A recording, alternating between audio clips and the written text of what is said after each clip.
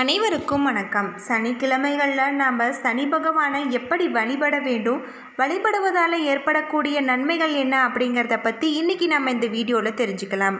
இந்த வீடியோ ரொம்பவே பயனுள்ளதாக இருக்கும். அதனால் வீடியோவை கடைசி வரைக்கும் ஸ்கிப் பண்ணாமல் பாருங்கள் இது வரைக்கும் நம்ம சேனலை நீங்கள் இன்னும் சப்ஸ்கிரைப் பண்ணலைன்னா மறக்காமல் சப்ஸ்கிரைப் பண்ணிவிடுங்க வாங்க வீடியோக்குள்ளே போகலாம்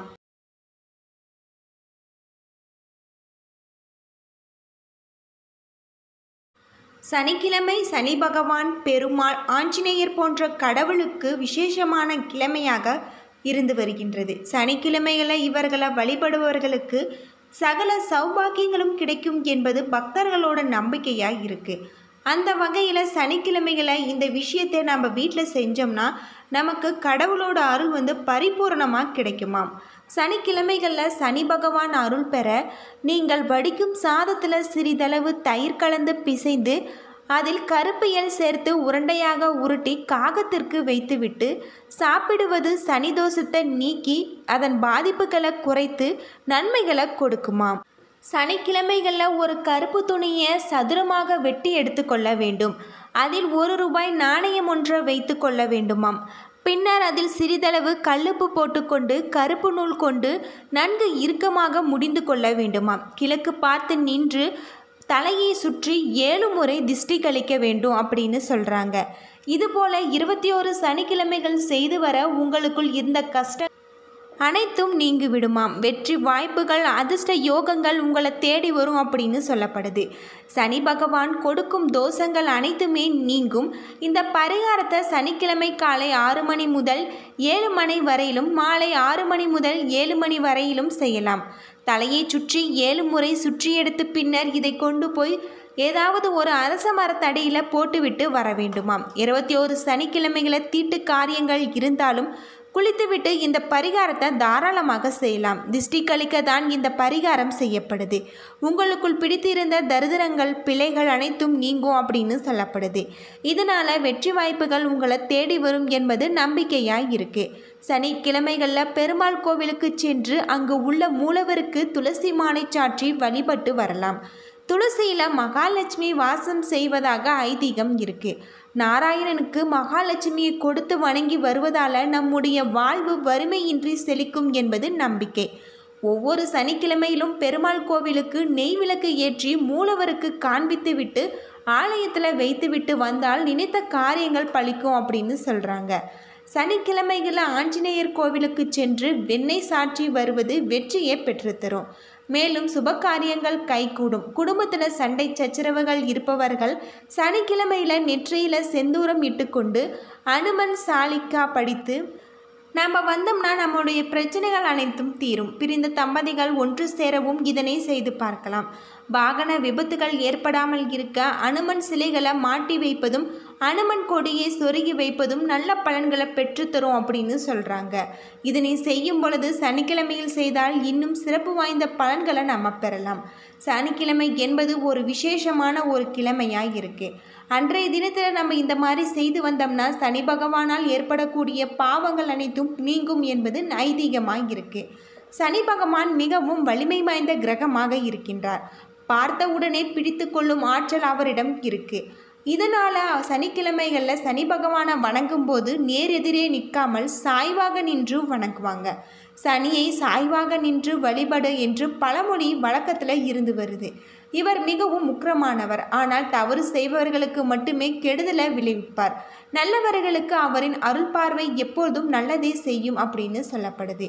நீதிமானாக இருப்பவர் நீதியை காக்க என்ன வேண்டுமானாலும் செய்து வருவாராம். இரக்கமே படமாட்டார். எமலோகத்தில் நம்முடைய பாவ கணக்குகளை எழுதி கொண்டிருக்கும் சித்திரகுத்தரை விட சனி பகவான் பார்த்து கொண்டிருக்கும் பார்வைதான் தீர்க்கமாக இருக்கும் அப்படின்னு சொல்கிறாங்க எவ்வளவு எடை குறையாமல் இருக்கும் தன்னுடைய பயிற்சியின் போது கடமைகளை செவ்வனே ஆற்றுவார் அப்படின்னு சொல்கிறாங்க பாவங்களை செய்துவிட்டு தப்பிச் செல்வதற்கு பரிகாரம் தீர்க்காதுதான். ஆனால் அந்த பரிகாரத்தை செய்து வைத்து உங்களுடைய தண்டனைகளில் இருந்து குறைத்து கொள்வதற்கு வழியை காட்டும் ஒரு பாதையாக பரிகாரங்கள் கட்டாயம் இருக்கும். அதை என்ன செய்ய வேண்டும் எப்படி செய்ய வேண்டும் அப்படிங்கிறத பற்றி தெரிஞ்சுக்கலாம். நீங்கள் செய்த புண்ணியத்தின் பலனான பரிகாரங்களை செய்து முற்றிலும் இல்லாவிட்டாலும் கெடுபலன்களை குறைத்து கொள்ளலாம். ஆகவே சனி பகவான் பிடியில் சிக்கி தவிப்பவர்களுக்கு என்ன செய்தாலும் அவரின் உக்கிரத்தை குறைத்து உங்களுக்கு நிம்மதி கிடைக்கும் என்று சொல்லப்படுது. சனியின் நேர்மைக்கு நீதி தவறாமல் கடமையாற்றும் பண்பிற்கும் தான் ஈசனே தம் பெயரை பட்டமாக அழைத்து சனீஸ்வரன் என்று கௌரவப்படுத்தியிருக்காரு. இத்தகைய பெருமை வாய்ந்த சனி பகவானுக்கு மிகவும் பிடித்தவர் ஈசன்.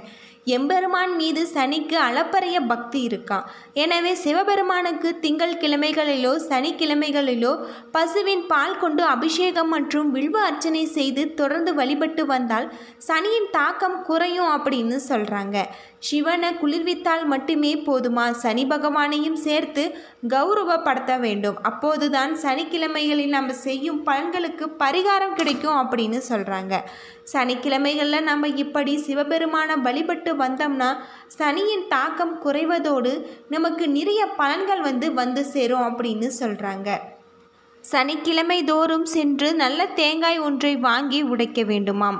சனி பகவான் சன்னதியிலே இந்த மாதிரி செய்து வர வேண்டும். உடைத்த அந்த இரு மூடிகளிலுமே நல்லெண்ணெய் ஊற்றிக்கொண்டு எள்ளு கொண்டு கருப்பு துணியில் முடிச்சு போட்டு விற்கப்படும் எள்ளு முடிச்சை நல்லெண்ணெயில் நினைத்து கொண்டு அந்த திரியை ஏற்ற வேண்டுமாம். இப்படி நம்ம மனதார செய்து வந்தோம்னா நம்முடைய பாவங்கள் அனைத்தும் போக்கும் அப்படின்னு சொல்கிறாங்க பொதுவாக ஜோதிடத்தின்படி அனைத்து துன்பங்களுக்கும் சனிதான் காரணம் என்று சொல்லும் வழக்கம் இருக்கு. ஆனால் உண்மையில் பலவித கொடுமைகளுக்கு காரணமாக உள்ளவர் சனி என்று நினைக்க வேண்டாம். சனி பகவான் ஆதிக்கம் கொண்டவர்கள் பட்டறிவு மூலம் வாழ்க்கையில் சிறந்த உயர்ந்த அனுபவங்களை பெற்று உன்னதமாக பிறக்கும் யோசனை சொல்லும் அனுபவசாலிகள் ஆவாங்க. சர்வ சக்திகளை பெற்று சாதனை புரிய செய்வாங்க சனீஸ்வரர். ஒரு நியாயமான கிரகம் மனிதர்களின் பிறவி பயனுக்கு ஏற்ற இன்ப துன்பங்களை தருவதில் இவருக்கு நிகர் இவரே. உலகுக்கு எல்லாம் ஒளியை அள்ளி வீசும் சூரிய தேவனுக்கு மகனாக சனி பகவான் இருந்து வருகின்றார். இப்படிப்பட்ட சனி பகவானை நம்ம வழிபடுவதால் நம் வாழ்க்கையில் இருக்கக்கூடிய துன்பங்கள் அனைத்தும் நீங்கும் என்பது ஒரு ஐதீகமாக சொல்லப்படுது. சனி பகவானை வழிபடுவர்கள் எல் தீபம் ஏற்றி வழிபட வேண்டும். இப்படி ஒவ்வொரு சனிக்கிழமைகளும் நம்ம செய்து வந்தோம்னா நம்முடைய பாவங்கள் அனைத்தும் நீங்கும் அப்படின்னு சொல்கிறாங்க ஜோதிட சாஸ்திரத்தின்படி சனி பகவான் என்பவர் கிரக ராசிகளுக்கு பல நன்மைகளையும் அவர் செயல்களுக்கு ஏ தீவினைகளும் செய்யக்கூடியவராய் இருக்கின்றார். சனி பகவான் யாருக்கும் பாரபட்சமே பார்க்க மாட்டார். அதே சமயம் யார் நல்லது செய்தாலும் அவர்களுக்கு செல்வத்தையும் இன்பங்களையும் வாரி வழங்கவும் தயங்க மாட்டார். இத்தகைய சனி பகவான் பிறந்த நாளன்று வீட்டில் பூஜை செய்தால் நமக்கு அனைத்து விதமான நன்மைகளும் வந்து சேரும் அப்படின்னு சொல்கிறாங்க ஜோதிட புராணங்களில் மிகவும் அச்சுறுத்தும் கிரகம் என்றால் அது சனி கிரகம்தான். இந்த கிரகத்தின் தலைமை அதிபதியாக திகழ்பவர் தான் சனி பகவான். இவர் யமனின் சகோதரர் என்றும் நீதியின் அரசர் என்றும் அழைக்கப்படுறாரு. மேலும் சிலர் இவர் ஸ்ரீ கிருஷ்ண பரமாத்மாவின் மறு அவதாரம் என்றும் மக்களிடையே நன்மை தீமைகளை பரப்ப உருவெடுத்துள்ளார் என்றும் கூறப்படுறாங்க. அப்படி எல்லோரும் ஆட்டி படைக்கின்ற நேர்மையான ப சனி பகவானை நம்ம வணங்கணும்னா நமக்கு அனைத்து விதமான நன்மைகளும் வந்து சேரும். சூரிய பகவானின் மனைவியான சாந்தா ஒரு சிறந்த சிவபக்தி ஆவார். இவர்களுக்கு பிறந்த குழந்தை தான் சனி பகவான். சனி பகவானை நம்ம வழிபட்டோம்னா சிவபெருமானுடைய ஆசீர்வாதம் நமக்கு கண்டிப்பாக கிடைக்கும் அப்படின்னு சொல்கிறாங்க என்ன நண்பர்களே இந்த வீடியோ உங்களுக்கு பயனுள்ளதாக இருந்திருக்கும்னு நினைக்கிறேன். வீடியோ பிடிச்சிருந்தால் லைக் பண்ணுங்கள் ஷேர் பண்ணுங்கள் கமெண்ட் பண்ணுங்கள் இது போன்ற தகவலை தெரிஞ்சுக்க நம்ம சேனலை மறக்காமல் சப்ஸ்கிரைப் பண்ணுங்கள் நன்றி நண்பர்களே.